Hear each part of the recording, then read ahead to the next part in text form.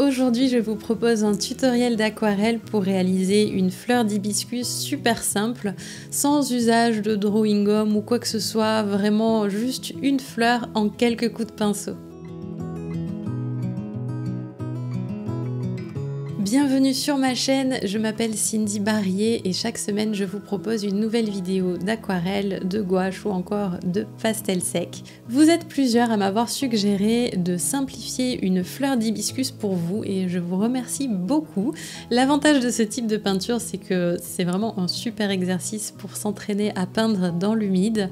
Comme c'est très rapide, vous pouvez vous y reprendre à plusieurs fois, recommencer jusqu'à ce que vous ayez vraiment bien compris le principe et pris le coup de main.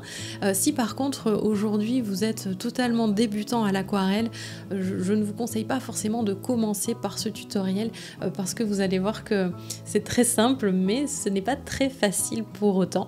Donc je vous mets des petits liens euh, vers des peintures qui sont plus abordables et qui vous permettront de vraiment découvrir l'aquarelle et vous familiariser avec le travail de l'eau et des pigments euh, avec beaucoup moins de difficultés.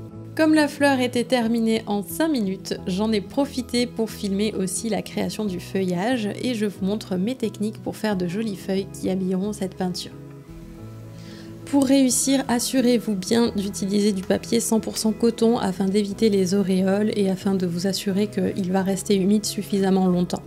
Je vous conseille d'utiliser deux pinceaux, un rond très doux ou un pinceau à la vie pour apporter suffisamment de liquide sur le papier et un petit trait nerveux, c'est-à-dire raide, pour apporter la peinture concentrée ainsi que la précision.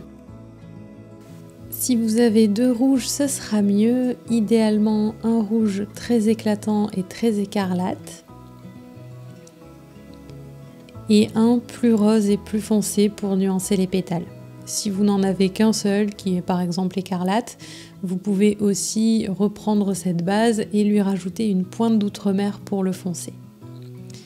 Il vous faudra aussi un bleu outre-mer, un jaune orangé ou un jaune neutre, et vous pouvez employer un verre de vessie pour les feuilles ou bien vous pouvez le fabriquer avec du bleu et du jaune. Je commence par préparer mes couleurs.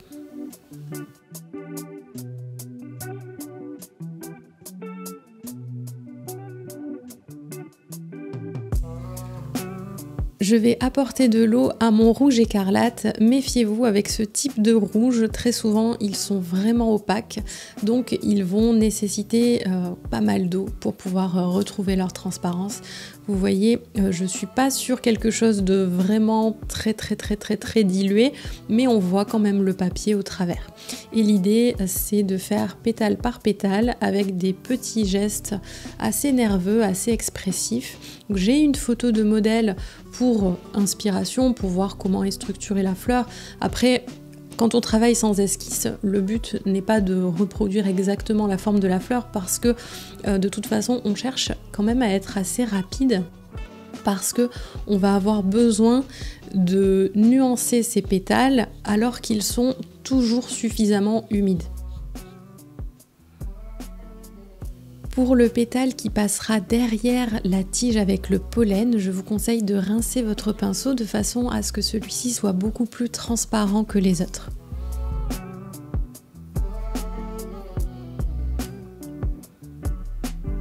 En deuxième étape, j'ai pris mon rose le plus soutenu avec cette fois-ci mon pinceau nerveux et cette fois-ci la consistance de la peinture est beaucoup plus épaisse parce que je cherche à éviter les auréoles d'une part, et aussi créer du contraste. Et vous pouvez voir qu'il y a un petit liseré blanc sur la partie droite du cœur. Ce liseré permet à la peinture de rester dans le cœur et de ne pas se diffuser sur les autres pétales, ce qui est essentiel pour la perspective de la fleur.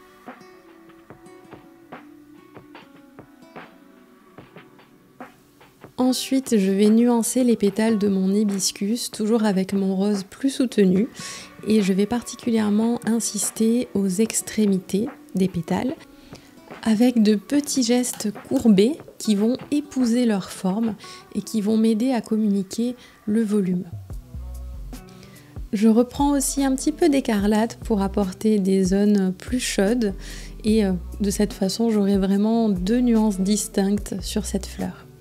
Je n'hésite pas à, déborder un peu des pétales parce que je trouve que ça lui apporte un petit peu de mouvement. Et vous avez pu voir que j'avais laissé quelques blancs, c'est quelque chose que j'aime beaucoup faire dans mes fleurs. Donc en fonction, j'en profite pour les affiner un petit peu, pour en supprimer certains, etc. C'est l'occasion aussi de revoir la forme de la fleur pour s'assurer que tout nous convienne. Et là, avec mon jaune, je viens dans l'humide euh, marquer déjà l'emplacement du pistil. À chaque fois que vous apportez une nouvelle couleur dans l'humide, assurez-vous que le papier n'ait pas commencé à sécher. Donc il faut vraiment vous fier à son aspect. Si vous voyez qu'il a commencé à perdre sa brillance, il est grand temps d'arrêter de lui apporter de nouvelles touches. Et en général, euh, les premiers pétales que vous avez peints seront aussi les premiers à sécher. Donc euh, méfiez-vous particulièrement de ceci parce que euh, sinon vous pourriez créer des auréoles que vous n'avez pas forcément prévues euh, ni souhaitées. Pour peindre la tige centrale, je crois que ça s'appelle le style, le pétale doit être encore au moins un petit peu humide. Et j'ai rincé complètement mon pinceau et ensuite je l'ai totalement séché dans mon papier absorbant. Puis je suis venue le mettre au centre de la fleur et j'ai essayé d'essuyer en allant du centre vers l'extrémité de cette tige. Et de cette façon euh, j'ai ramené de la peinture avec le pinceau. Et donc vous voyez ça l'a dessiné euh, en version encore un petit peu floutée. Mais une fois que ce sera sec je viendrai euh, le préciser un petit peu.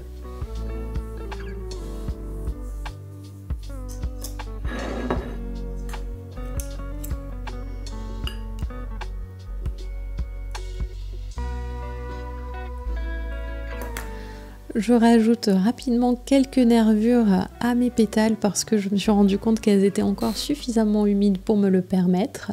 Comme ça, ben, ça me permet de l'habiller un petit peu. Et ensuite, eh bien, pendant qu'elle sèche, je vais faire un petit peu de feuillage. Donc avec mon gros pinceau tout doux, euh, je prélève un petit peu de verre de vessie euh, qui est beaucoup beaucoup dilué. En fait l'idée c'est de créer deux teintes de feuilles. La première sera très transparente et la deuxième sera plus foncée et euh, plus concentrée en pigments.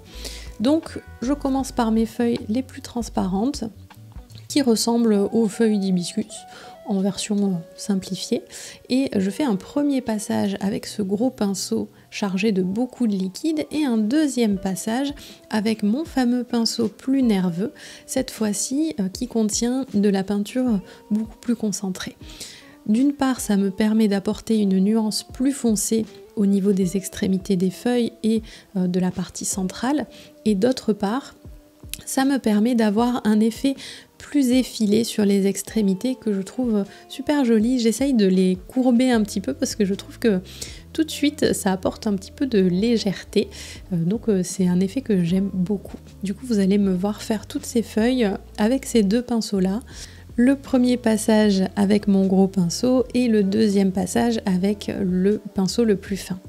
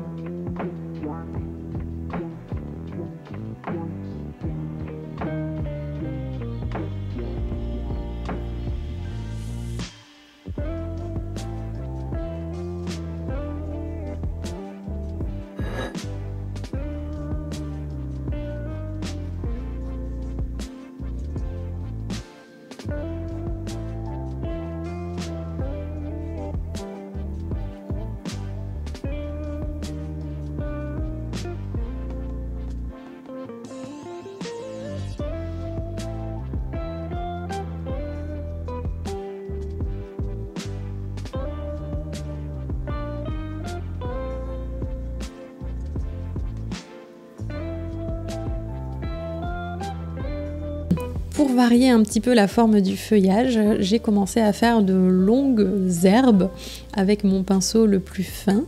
J'étais pas encore sûre de savoir si j'allais en faire d'autres. Du coup, en attendant, je me suis dit que puisque ma fleur était sèche, il était temps de faire des séparations de pétales. Si jamais vous avez un petit peu trop chevauché vos pétales lors de votre premier passage, vous pouvez facilement suggérer leur division en leur apportant un petit tracé comme celui que je suis en train de faire. Et pour plus de réalisme, je vous conseille avec votre deuxième pinceau bien propre et euh, vraiment euh, bien asséché dans le papier absorbant de venir euh, adoucir l'un des côtés de cette bordure. Comme ça, ça fait vraiment comme si il y avait un pétale qui projetait son ombre sur le second. Je vais continuer le feuillage, mais il faut que tout soit vraiment super super sec. Ça a l'air sec, mais par mesure de précaution, j'ai quand même passé un petit coup de sèche-cheveux. Je veux créer un vert très foncé pour mon deuxième rang de feuillage. Donc euh, mon pinceau contenait encore un peu de rouge, je l'ai mélangé dans mon verre de vessie, après je lui ai rajouté du bleu outre-mer. Euh, j'essaie de mettre euh, assez d'eau pour pouvoir étaler correctement la peinture, mais pas trop, parce que je veux qu'elle soit moins transparente que mes premières feuilles. Une fois que j'obtiens un vert très sombre, je fais un petit test alors pour ces feuilles-là, je vais créer quelque chose euh, dans un esprit un peu plus jungle. Donc là, j'ai vraiment besoin de précision. Donc je prends mon petit pinceau azur et euh, je vais tracer feuille par feuille. L'idée, c'est que la feuille qui se trouve à l'extrémité est la plus petite. Et ensuite, je vais faire des feuilles de plus en plus longues le long de cette tige et des deux côtés.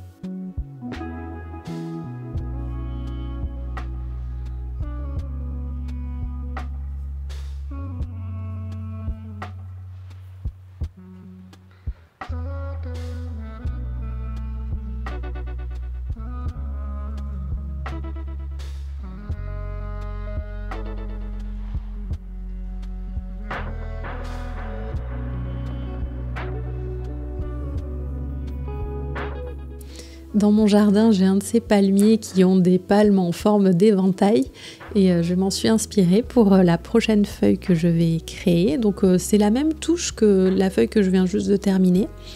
Sauf que là, elles sont disposées avec cette forme d'arc de cercle où la feuille la plus longue est celle du centre et ensuite elles vont être de plus en plus petites.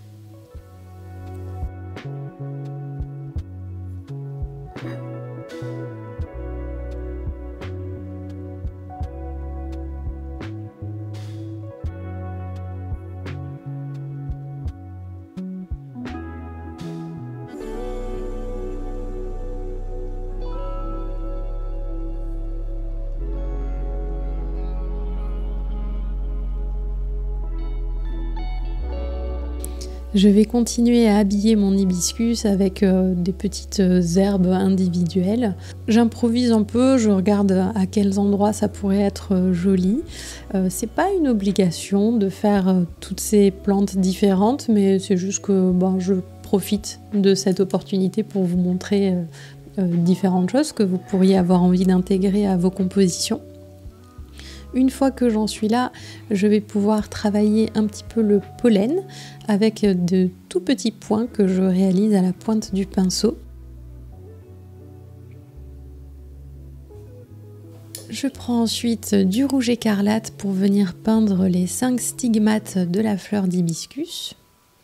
Donc il s'agit de faire euh, de toutes petites ellipses.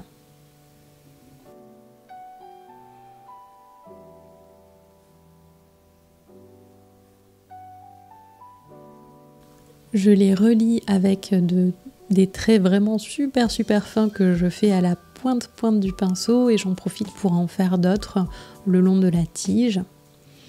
Et je vais terminer par peindre ce fameux style, toujours en rouge écarlate, avec euh, une variation d'épaisseur. J'essaie de faire en sorte qu'il soit plus épais à la base et qu'il aille en s'affinant vers l'extrémité.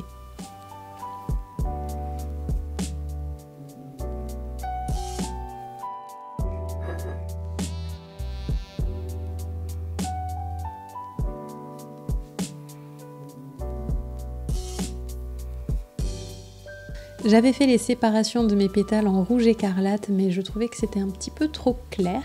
Du coup, j'ai décidé de repasser par-dessus avec mon rouge rubis foncé.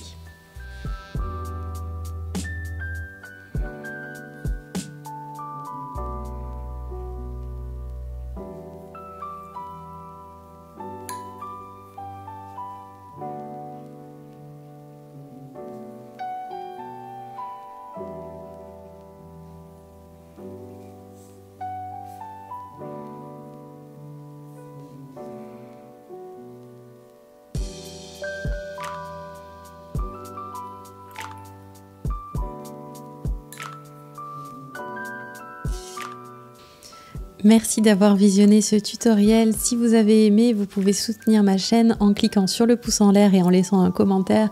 Même un simple bonjour ou merci, c'est déjà très important pour moi. Donc un gros merci à tous ceux qui le feront.